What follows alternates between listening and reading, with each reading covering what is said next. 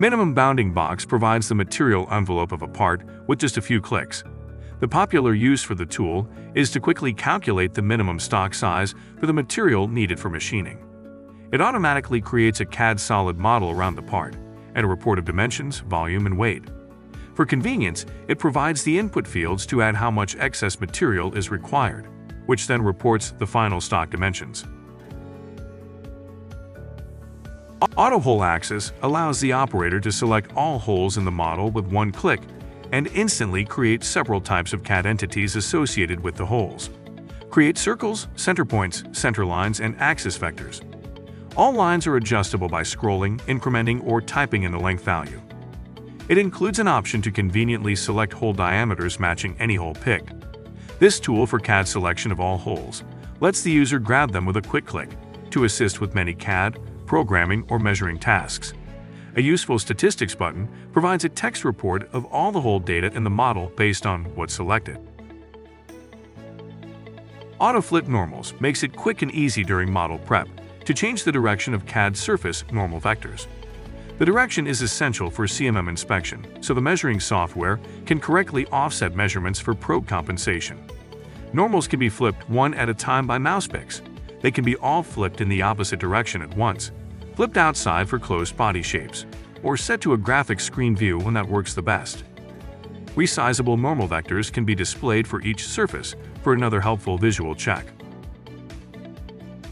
Verisurf Planes tools provide several productivity-enhancing shortcuts to help users working with CAD planes reduce the number of operations necessary to complete common tasks. Following is a brief look at Verisurf Planes, tools that provide improved and abbreviated workflows. Grow Planes lets you pick a CAD plane or edge of plane, and with a single click all edges or the edge picked will extend 10% with each click. Shrink Planes lets you pick a CAD plane or edge of plane, and with a single click all edges or the edge picked will shrink 10% with each click. Trim Planes will trim one selected plane to the next selected plane, deleting the part of the plane on the side of the junction not picked. Trim multiple planes will trim all the planes selected to each other all at once, simply by trimming each plane that crosses another and making a reasonable estimate of which sides to keep. Distance between planes will provide a quick measurement of the distance and angle between two closely parallel planes, or the angle only between two off-parallel planes selected. Bisect planes creates a plane midway between two selected planes after selecting the two planes. Single point planes creates a plane with one click on the current CAD construction plane, useful for many tasks. Intersect planes creates a line at the junction of two planes after picking the second plane. The result is a straight line representing the intersection. Create WCS tools make it easy to construct work coordinate systems in Verisurf and Mastercam. WCSs are often required for tasks specific to a part. Sometimes referred to as a local or part coordinate system, it's a frame of reference based specifically on the part or a set of features on the part. It's common for CAD models to be provided with coordinate systems based on the next assembly, and therefore not suitable for many tasks related to the individual part. These activities include machining, CMM inspection, and other manufacturing activities that start with the 3D model. Verisurf WCS tools make creating a WCS easier and with fewer steps in the workflow.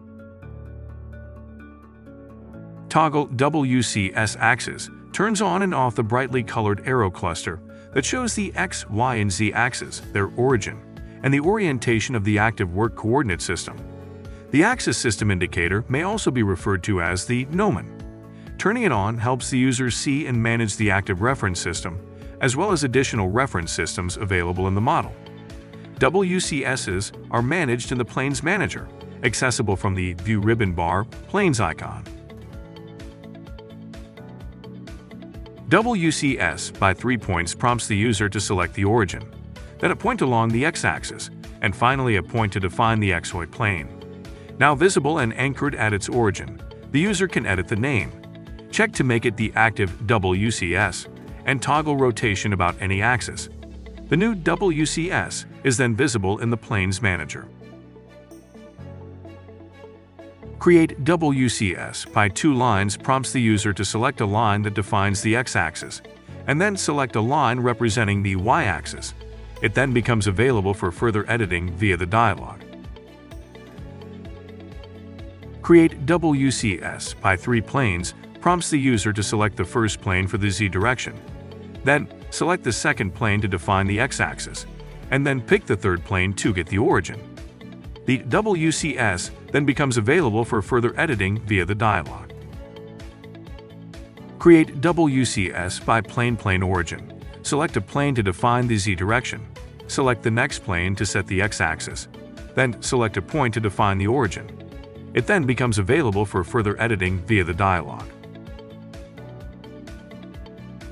Create WCS by plane line point. Select the plane to define the z direction. Select a line to define the x-axis, then the point of origin. The WCS then becomes available for further editing via the Create WCS controls.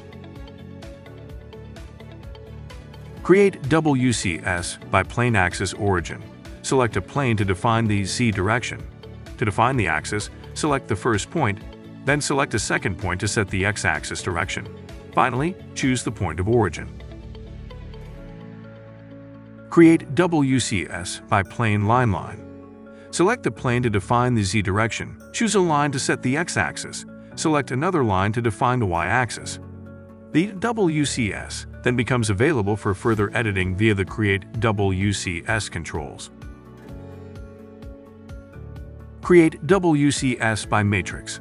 This advanced function allows the operator to define the x, y, and z values of the new origin and the directional vectors of i, j, and k. Create WCS by XYZ ABC.